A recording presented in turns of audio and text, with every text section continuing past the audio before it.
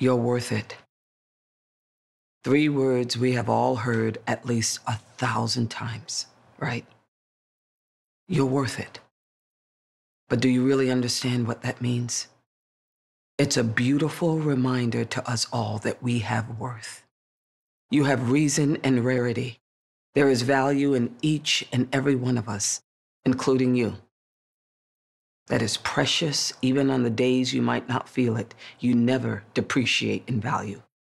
Those words are there to remind you. So, to all those watching who feel like that or have ever felt like that, focus on what I'm about to say and repeat after me. I'm worth it. Okay? Maybe that felt great, or perhaps that felt weird. Let's go again. First, take a deep breath and let it out.